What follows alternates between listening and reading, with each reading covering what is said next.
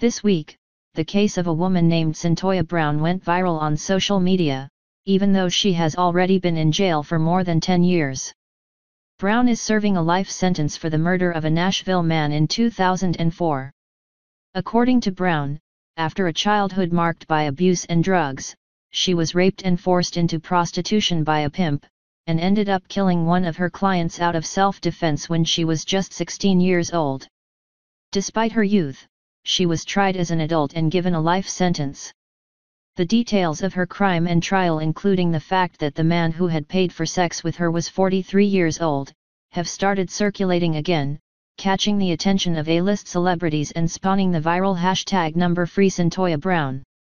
However, even before the renewed interest, her trial inspired a documentary and was a factor in a major change in how the state of Tennessee deals with child prostitution cases. How a years-old case ignited new interest. Though it's unclear why, specifically, Brown's story came back into the spotlight, a text post describing Brown's history and trial appeared to pick up serious steam when it was shared by singer Rihanna on Instagram. Imagine at the age of 16 being sex trafficked by a pimp named Cutthroat. After days of being repeatedly drugged and raped by different men you were purchased by a 43-year-old child predator who took you to his home to use you for sex. You end up finding enough courage to fight back and shoot and kill him, the post reads. You're, sick, arrested as, sick, result tried and convicted as an adult and sentenced to life in prison, it continues. This is the story of Cyntoia Brown. She will be eligible for parole when she is 69 years old. Something is horribly wrong when the system enables these rapists and the victim is thrown away for life, Rihanna wrote in her Instagram caption. The same post was later shared by Kim Kardashian, Cara Delevingne, and other celebrities, journalists and activists, who questioned why an underage girl involved in prostitution was given such a harsh sentence. The re-emergence of her story has inspired several petitions asking for a retrial in the case. The story behind the posts.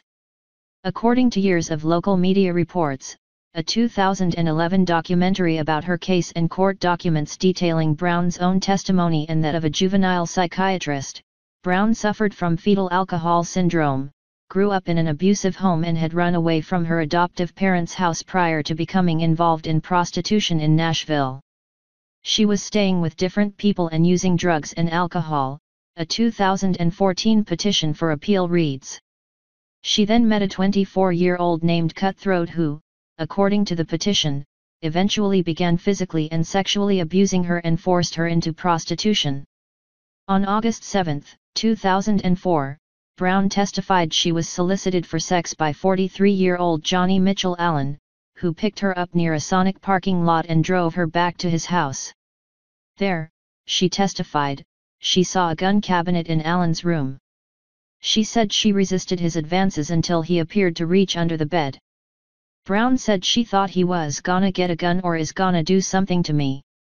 She then said she took a gun out of her purse and shot Allen. During her trial, the prosecution argued that the motive for the killing was not self-defense, as Brown claimed, but rather robbery, since Brown took Allen's wallet after she shot him. She was tried as an adult and convicted of first-degree murder, first-degree felony murder and aggravated robbery. The convictions carried concurrent life sentences and eight additional years. Brown's life sentence caught criticism in Tennessee, and in 2012, a U.S. Supreme Court ruling offered her advocates new hope. The Supreme Court decision banned life without parole for juveniles, stating it was unconstitutional. However, Brown's conviction does carry the possibility of parole when Brown is 69 years old. Still, her advocates are hoping the change, and continued interest in her story, will inspire a change in Tennessee law.